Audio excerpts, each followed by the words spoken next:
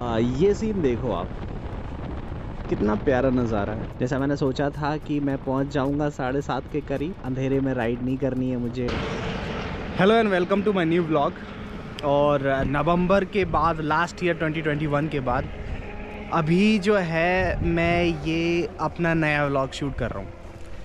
क्योंकि नवंबर के बाद मैंने जो है कुछ कारणों की वजह से व्लॉगिंग करना बंद कर दी थी जो कि मुझे रियलाइज़ हुआ कि it was a bad decision और उसके कुछ कारण भी थे। नवंबर में जो है मैं गया था। नवंबर में मैं गया था। अक्टूबर नवंबर में गया था। आ, रामेश्वरम। रामेश्वरम फैमिली ट्रिप पे गया था मैं। उसके बाद जो है मैं घर आ गया। क्योंकि उस टाइम पे मैं चेन्नई से काम कर रहा था और फिर मैं घर आ गया। घर से जो हम सॉरी घर से वर्क फ्रॉम होम चल रहा था और वर्क फ्रॉम होम इतना लंबा चल गया कि एक साल हो गया। घर पे बढ़िया मज़े कर रहा था और एक साल से फिर मैं कहीं गया भी नहीं। तो व्लॉगिंग जो है का काइंड ऑफ़ बंद हो गई। लेकिन अब मैं जो है जा रहा हूँ एक लॉन्ग बाइक राइड पे। दमोह से लेकर के चेन्नई तक। दमोह से लेके चेन्नई, जो कि अराउंड 1500 किलोमीटर दूर है। 1500 सौ it's gonna be a long long long trip और it's gonna be a bike trip और मैं बाइक से जा रहा हूँ। तो मेरा प्लान ये है कि जो है, यहाँ से दमोह से लेकर के पहले मैं जाऊँगा नागपुर। और नागपुर से जो है, मैं जाऊँगा हैदराबाद और हैदराबाद से फिर चेन्नई। तो अराउंड 1500 किलोमीटर मुझे ट्रैवल करना है and it's gonna be a lovely trip I am I am bit scared क्योंकि मैंने इतनी लंबी ट्रिप अपने लाइफ में कभी नहीं की। और एक्साइटेड uh, भी हूँ बहुत ज़्यादा एक्साइटेड भी हूँ क्योंकि this is gonna be a completely new ride new place new roads और इट्स गोना बी फन तो मेरा uh, मेरा पूरा सेटअप रेडी है। I am gonna show you my bike so here's my bike and uh, this beautiful baby is ready with me to go on a new beautiful journey on a wonderful journey on a long journey or uh, I'm also ready so I'm gonna show you guys around okay और अब मैं जो है vlogs uh, मेरे जो vlogs होंगे वो regular होने वाले हैं I am really sorry that I was not continuous but I am gonna be now और uh, आपको दिखाऊँगा नई नई जगह नए नए places so stay with me तो वो स्वागत है मेरी ये पहली ट्रिप में. और uh, मुझे खुद नहीं पता कि मैं कैसे करने वाला हूँ क्योंकि इससे इससे पहले मैंने आज तक इतनी लंबी ट्रिप और इतनी लंबी जर्नी कभी नहीं की है. बट आई एम एक्साइटेड मैं सच में बहुत एक्साइटेड हूँ कि ये जो एक्सपीरियंस है that is gonna be a very nice experience for me तो मेरा प्लान ये है कि यहाँ से पहले मैं जाऊँगा जबलपुर। जबलपुर में मुझे थोड़ा सा काम है, ठीक है? उसको फिनिश करने के बाद फिर जो है, मैं निकलूँगा नागपुर के लिए। तो यहाँ से जबलपुर जो है, वो है अराउंड 90 किलोमीटर्स और फिर जबलपुर से जो है Nagpur that is going to be around two eighty kilometres so total जो है मेरा आज का आज की जो राइडिंग होने वाली है वो अराउंड 400 किलोमीटर्स क्योंकि मुझे जबलपुर में भी कुछ काम है तो मैं इधर उधर घूमूँगा। तो अराउंड 400 किलोमीटर्स आज मुझे राइड करना है। तो है टाइम हो रहा है अराउंड साढ़े ग्यारह। और लेट्स सी कि जबलपुर में जबलपुर uh, मेरा जो टारगेट है कि मैं जबलपुर अराउंड uh, एक घंटे या डेढ़ घंटे में पहुंचूं। फिर उसके बाद अराउंड uh, एक डेढ़ बजे तक जो है नागपुर के लिए निकलूँ। तो चलते हैं एंजॉय करते हैं राइड मुझे पता है कि जब मैं यहाँ से जाऊँगा तो पाँच सात दिन मुझे बहुत ख़राब लगने वाला है।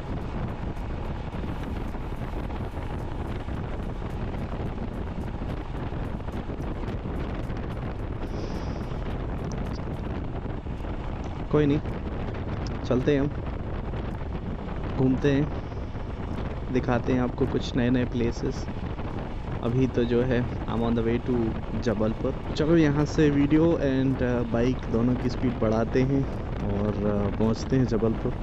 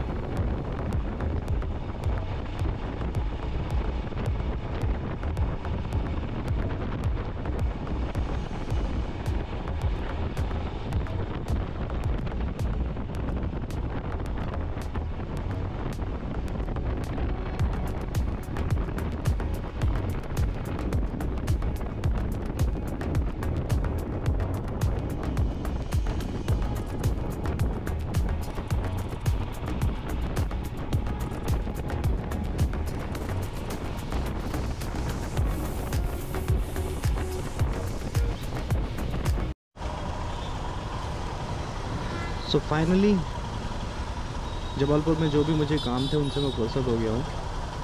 और uh, मैं जबलपुर पहुँच गया था तकरीबन एक बजे और अभी बज रहे हैं अराउंड थ्री ओ क्लाक मेरे बाइक की गाड़ी पर मत जाना वो तीस चालीस मिनट लेट है। तो अभी मुझे यहाँ से पकड़ना है नागपुर हाईवे जैसा मैंने बताया था कि नागपुर जबलपुर से जो है 275 तकरीबन 275 किलोमीटर है। और, तीन के करीब हो रहे हैं। अब, मुझे लगता है कि मैं जो है सात, साढ़े सात के ऊपर भी हो जाएँगे। क्योंकि 275 किलोमीटर कवर करना, ठीक है in a one go it's not it's not easy मैं चाहता हूँ कि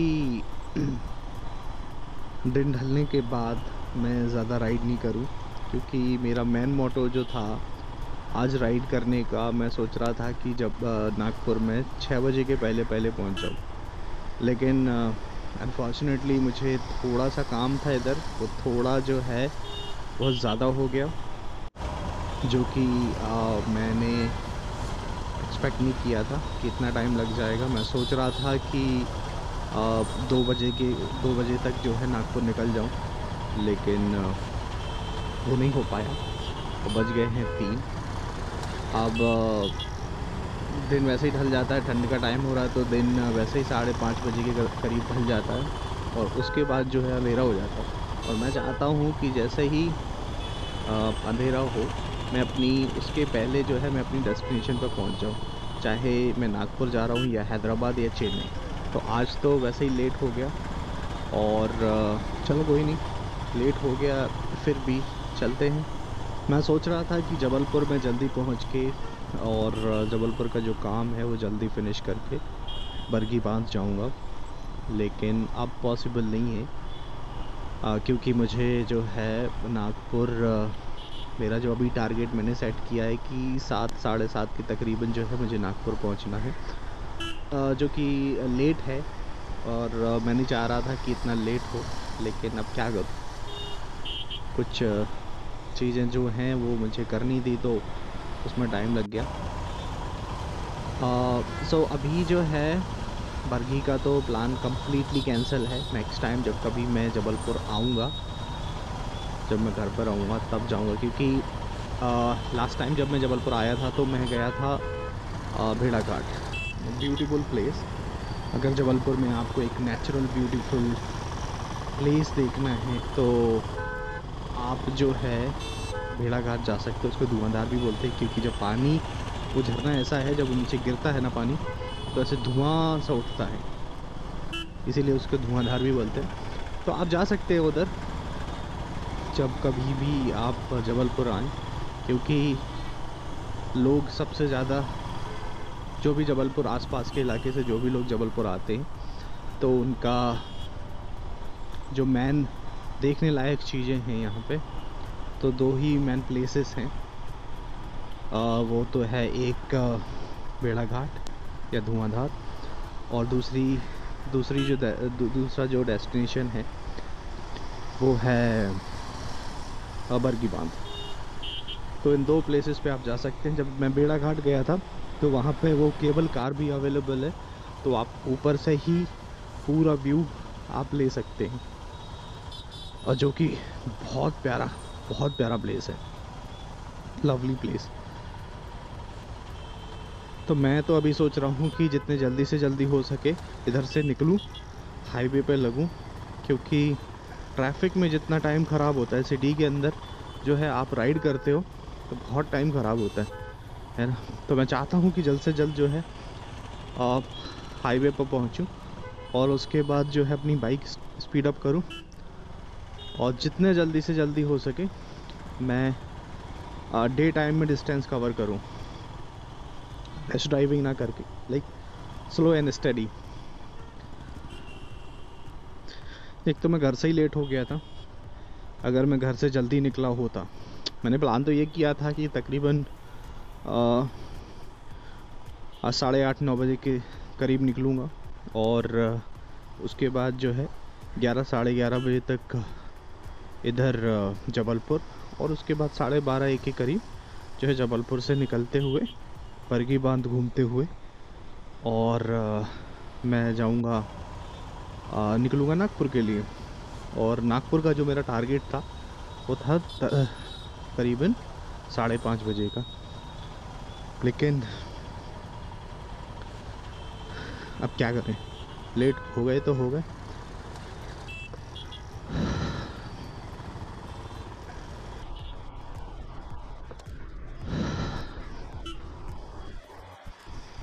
हाँ, अभी थोड़ी सी राहत मिली है।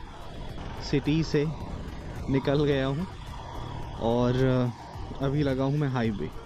ये है नागपुर जबलपुर नागपुर हाईवे। और अब मुझे जो है यहाँ से कंटिन्यूसली राइडिंग करनी है नागपुर तक।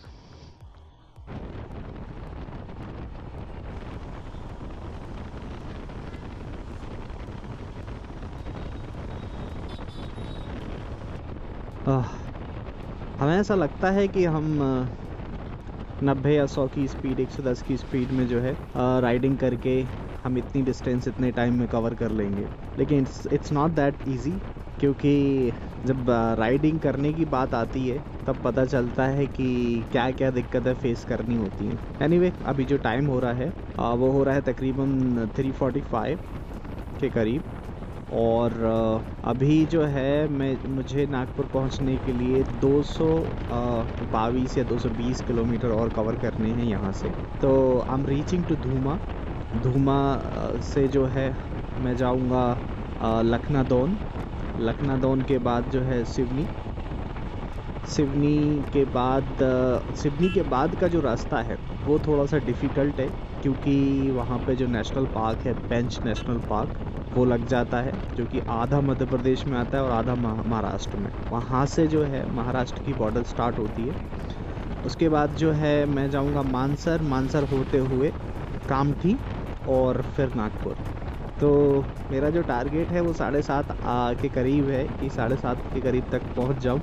लेकिन मैं ये भी चाहता हूँ कि जो जंगली एरिया है जो नेशनल पार्क वाला जो एरिया है वो आ, मैं दिन ढलने के पहले जो है कवर कर लूँ। ये सीन देखो आप। कितना प्यारा नज़ारा है। ये पहाड़ी इलाका है और तकरीबन बज रहे हैं चार बाइक की घड़ी के हिसाब से।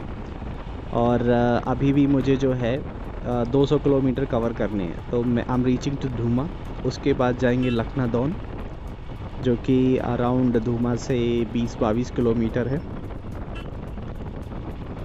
यहाँ से धूमा तक ये जो है जंगली इलाका है, पहाड़ी इलाका है और बहुत सारे ब्लाइंड मोड्स हैं। तो मैं जो है एकदम धीरे धीरे चल रहा हूँ सेफली क्योंकि ऐसे इलाकों में मुझे ज़्यादा रैश राइडिंग नहीं करनी है। धीरे धीरे चलना है और सेफ़ पहुँचना है। यहाँ से जो नागपुर है वो है तकरीबन 110 किलोमीटर। मैंने जो मैप सेट करके रखा है वो नागपुर की जो इनिशियल बॉर्डर है वहाँ तक का है। तो इसमें अराउंड 91 किलोमीटर्स दिखा रहा है। लेकिन एक्चुअल जो है वो सिटी तक जाने में हमें अराउंड 110 किलोमीटर तक लग जाएँगे। तो आ, शाम के बज गए हैं छः। यहाँ से जो है नेशनल पार्क बेंच स्टार्ट होने वाला है। और मैं सोच रहा था कि आ, जो है मैं सूरज ढलने से पहले पहले तक जो नेशनल पार्क का एरिया है वो क्रॉस कर दूँ बट ऐसा नहीं हो पाया जैसा मैंने सोचा था। कि हम जो है हम ऐसा सोचते हैं कि लाइक सौ किलोमीटर या फिर जो है 110 की स्पीड में जो है हम दो घंटे में कहीं के कहीं हो जाएँगे लेकिन ऐसा नहीं होता है। जब एक्चुअल राइडिंग करनी होती है ना तब पता चलता है कि क्या क्या तकलीफ़ें जो है हमें फेस करनी होती आ, तो यहाँ से खवासा जो है वो है सत्ताईस नागपुर 104 हैदराबाद पाँच सौ बानवे किलोमीटर है। और ये मेरे आजू बाजू आप बैरिकेडिंग देख रहे हो। ये जो इलाका है अब ये हो गया है जहाँ से पेंच नेशनल पार्क स्टार्ट। यहाँ से पेंच नेशनल पार्क चलेगा चोर बहुली तक। ख्वासा के थोड़ा सा आगे तक जो है मध्य प्रदेश की बॉर्डर है। वहाँ से मध्य प्रदेश की बॉर्डर ख़त्म हो जाएगी, महाराष्ट्र की बॉर्डर चालू हो जाएगी। और, क्योंकि पेंच जो नेशनल पार्क है, वो आधा आता है मध्य प्रदेश में और आधा आता है महाराष्ट्र में। तो मुझे जो है तकरीबन 50 kilometre from Jabalpur to Nagpur highway ये पैंच जो नेशनल पार्क है, वो डिस्टेंस कवर करनी है. तो 50 kilometre I have to go through this Pench national park और जिस प्रकार से ये बैरिकेडिंग स्टार्ट की है इन्होंने, ये मुझे लगता है इसलिए की है ताकि जंगली जानवर जो है रोड पे नहीं आए. ये तकरीबन हो रहे हैं छः बीस और शाम एकदम हो चुकी है. दिन कम्प्लीटली ढल चुका है। मुझे लगता है पाँच या दस मिनट के बाद जो ये उजाला दिखाई दे रहा है, ये भी ख़त्म हो जाएगा। और अभी भी मैं राइड कर रहा हूँ पैंच नेशनल पार्क के अंदर। ये जो ये जो इलाका है, थोड़ा सा डरावना इलाका है और मैं चाह रहा हूँ कि जितने जल्दी से जल्दी हो सके ख़त्म हो जाए। और, ये जो इलाका है, ये मध्य प्रदेश की सीमा में आता है।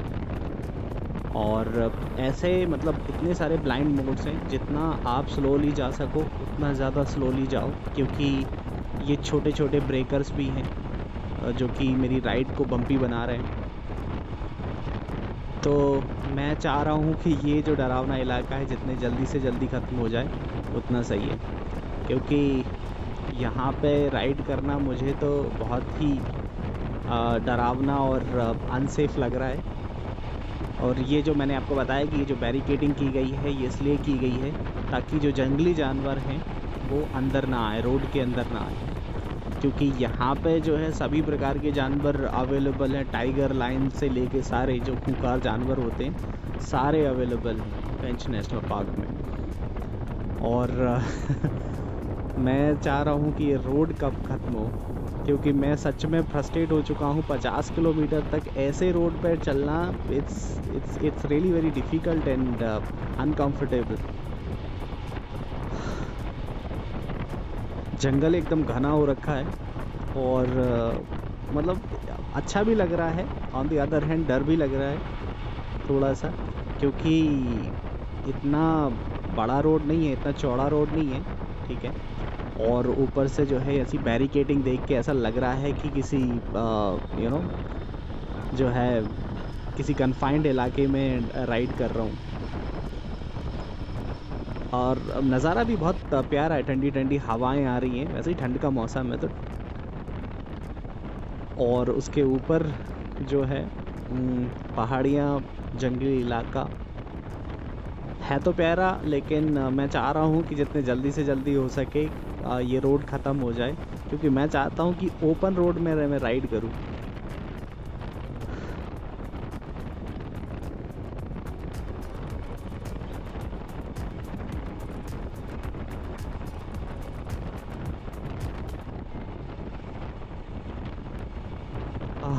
फाइनली ये बैरिकेडिंग वाला रोड ख़त्म हो गया, जंगली इलाका ख़त्म ही हुआ। लेकिन ये जो बैरिकेडिंग वाला रोड जो है, वो ख़त्म हो गया। बहुत बड़ी राहत की सांस ली है मैंने, क्योंकि मुझे ऐसा अजीब सा लग रहा था। तो ये रोड तो ऐसा है कि ख़त्म हो गया। अभी ओपन रोड में राइड कर रहा हूँ। ये थोड़ा मुझे अच्छा लग रहा है। अभी भी मुझे 80-85 किलोमीटर कवर करना है यहाँ से। बज रहे हैं तब तकरीबन साढ़े छः।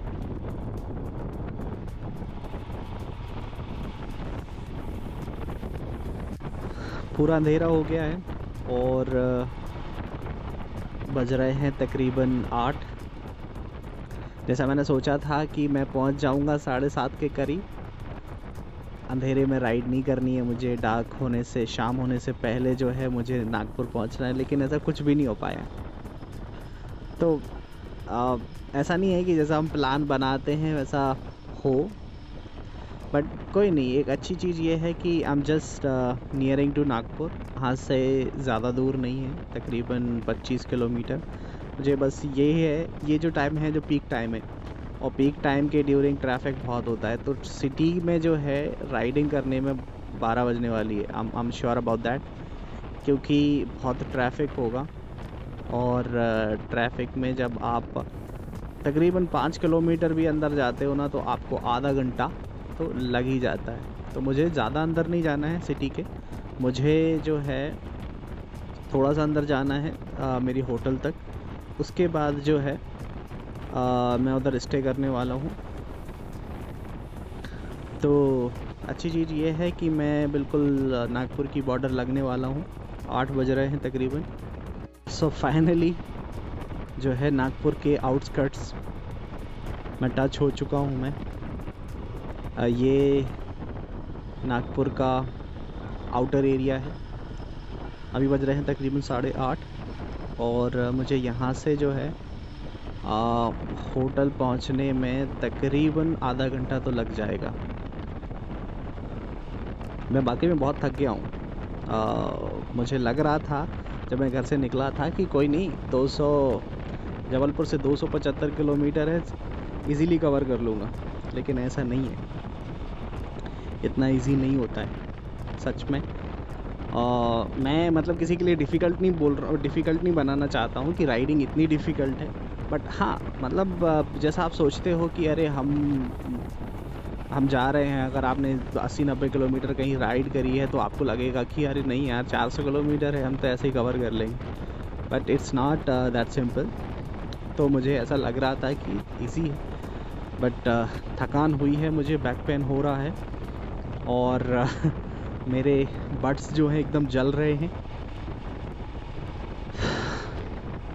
लेकिन ये रिलीफ हो गया है अभी कि मैं नागपुर पहुँच गया हूँ सेफली जो है बड़ी मशक्क़तों के बाद। तो यहाँ से मुझे होटल पहुँचने में तकरीबन जो है आधा घंटा तो लग जाएगा, क्योंकि अभी भी दस किलोमीटर। अभी ये चीज़ अच्छी है कि यहाँ पे ट्रैफ़िक नहीं है, बट सिटी में definitely there gonna be a traffic so ठंड नहीं है बिल्कुल। मतलब उतनी ज़्यादा नहीं है, थोड़ी बहुत है ठंड, लेकिन उतनी नहीं है जितनी जबलपुर और दमोह में थी।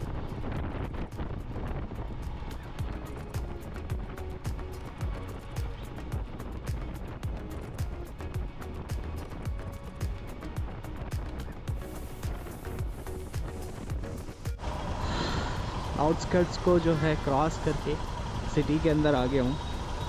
और ट्रैफ़िक उतना ख़ास नहीं है मतलब उतना ज़्यादा नहीं है। आ, लेकिन है। ये जो है टाइम लगा देगा मुझे वहाँ तक पहुँचने में होटल तक पहुँचने में। आ, मेरे पैरों की हालत जो है बहुत ख़राब हो रखी है। मुझे ऐसा लग रहा है कि कहीं मैं 10 मिनट रुक के पहले पैर सीधे कर लूँ और थोड़ा सा खड़ा हो जाऊँ या बैठ जाऊँ, लेकिन मुझे टाइम ख़राब नहीं करना है इधर। जितना भी आराम है, होटल पहुँच के करूँगा, है ना? अभी मैंने जब जबलपुर से निकला था, उसके बाद से मैंने कुछ खाया पिया नहीं है। क्योंकि राइड कर रहा था तो भूख ही नहीं लगी। सबसे पहले होटल जाके एकदम नहाऊँगा ठंडे पानी से, और उसके बाद खाना खाने वाला हूँ। क्योंकि भूख जो है, मुझे अब लगनी शुरू हो गई है। लेकिन सबसे ज़्यादा मुझे दर्द हो रहा है अभी मेरे पैरों में घुटनों में। ऐसा लग रहा है कि कहीं खड़े होके दस मिनट रुक जाऊँ और पैर सीधे कर लूँ या बैठ जाऊँ बढ़िया। लेकिन मुझे टाइम ख़राब नहीं करना है इधर। जितना भी आराम है वो मैं होटल जाके करूँगा। सो so, मैं चाहता हूँ कि सिटी क्योंकि सिटी में राइड करना थोड़ा सा डिफ़िकल्ट होता है। इसलिए क्योंकि पता नहीं कहीं से भी कोई भी घुस रहा है कहीं से भी कोई भी आ रहा है। तो वो आपको जो है आ, इस चीज़ का बहुत ज़्यादा ध्यान रखना पड़ता है। तो चलते हैं धीरे धीरे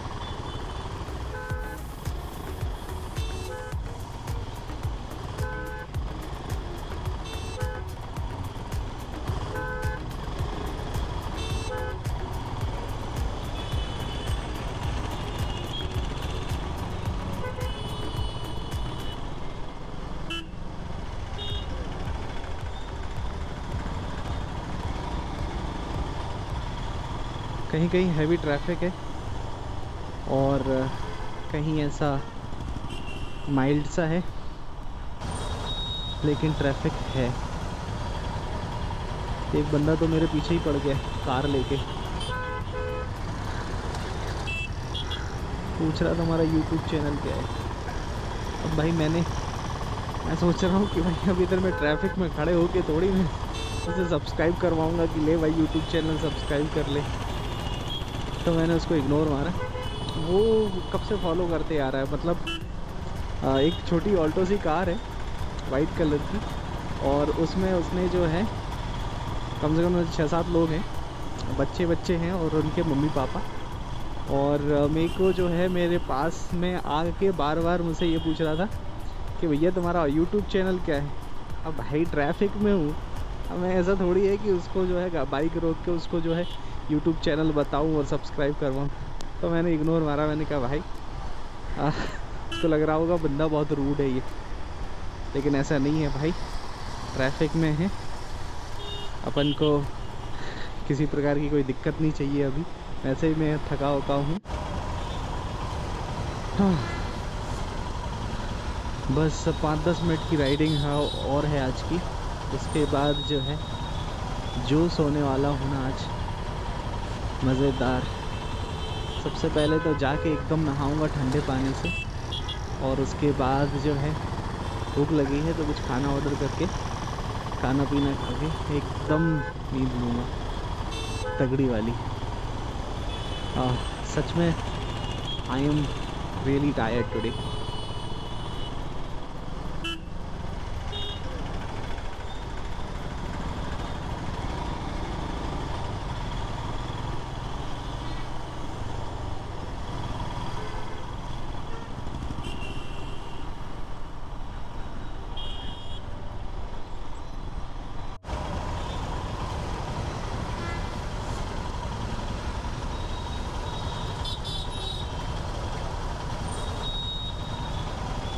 तो फाइनली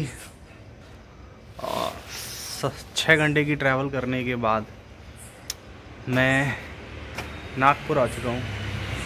और कल का प्लान ये है कि कल हैदराबाद निकलूँगा।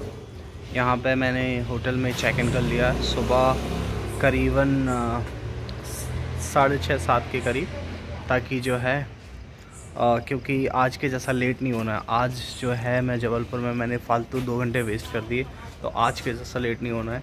कल अपन को टाइम पे पहुँचना है मतलब सूरज ढलने के पहले जो है हैदराबाद पहुँचना है। See my babe she is now resting she really got tired today she is gonna rest for the night and tomorrow morning she will be ready again to roar so so, आज बहुत लंबी trip थी around uh, साढ़े चार सौ kilometre. क्योंकि जब मैं सुबह निकला था ग्यारह बजे तो uh, साढ़े दस ग्यारह के करीब तब मैंने सोचा था कि जो है जबलपुर से बाईपास लेते हुए डायरेक्ट नागपुर पहुंचूँगा। लेकिन आ, uh, मुझे जबलपुर में थोड़ा सा काम था तो उधर मैंने जबलपुर में अराउंड डेढ़ घंटा वेस्ट कर दिया, जिसकी वजह से मुझे इधर लेट हो गया था, अराउंड साढ़े छः बज गए थे।